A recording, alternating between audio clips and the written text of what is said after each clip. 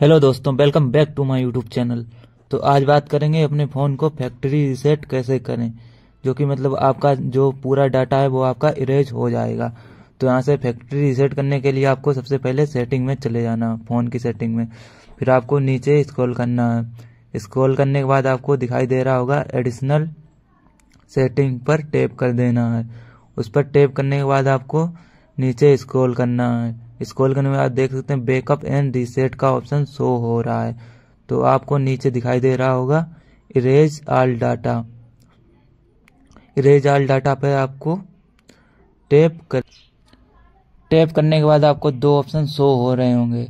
Erase download apps and their data और नीचे erase all data show हो रहा हो लिखा।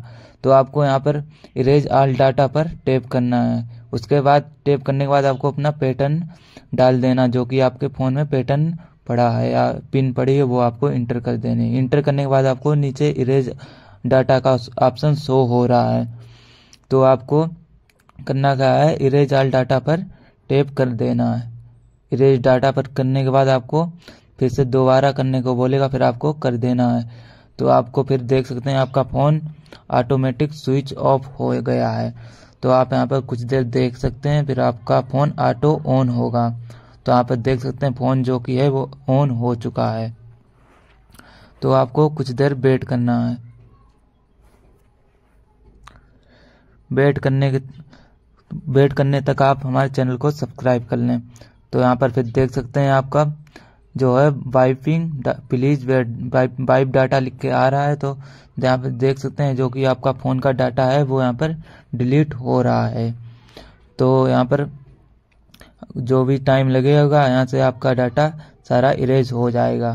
तो यहाँ पर देख सकते हैं, यहाँ पर फ़ोन दोबारा से ऑन हो चुका है, जो कि यहाँ पर डाटा डिलीट हो रहा है। अब यहाँ पर देख सकते हैं कि फ़ोन दोबारा से ऑन हो रहा है। तो आपको कुछ देर वेट कर लेना है। जब आपका यह प्रक्रिया हो रही हो तो आपको अपना फ़ोन स्विच ऑफ़ है मतलब पावर वाली बटन को प्रेस नहीं करना है। तो यहाँ पर देख सकते हैं, जो फ़ोन है, वो फ़ोन का डाटा जो है, सारा डिलीट हो चुका है। तो यहाँ से आप अपना दोबारा से सेटिंग को चालू कर लें। और वीडियो अच्छी लगी हो तो लाइक, कमेंट एंड शेयर कर दें।